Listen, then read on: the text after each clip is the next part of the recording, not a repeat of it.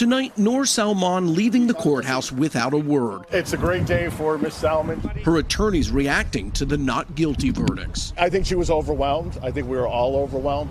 But outside the Pulse nightclub where Salman's husband Omar Mateen launched his massacre, killing 49 people, outrage from victims' families. She knew that her husband was doing what he was doing, and shame on her. I am in disbelief. I just feel like we've been slapped in the face.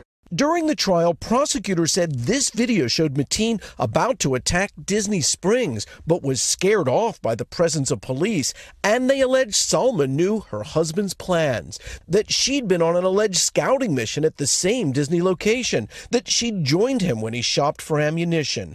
At the center of their case, her statement, an FBI agent saying she admitted her husband was preparing for jihad, Salman herself writing, I'm sorry for what happened. I wish I'd go back and tell his family and the police what he was going to do. We really did pursue the truth. Defense attorneys charged that statement was coerced, that she has a low IQ. Her uncle, Al Salman. I say that's day one, that she is innocent.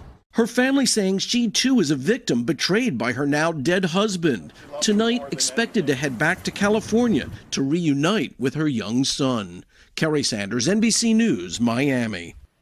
Hey, NBC News fans, thanks for checking out our YouTube channel. Subscribe by clicking on that button down here and click on any of the videos over here to watch the latest interviews, show highlights, and digital exclusives. Thanks for watching.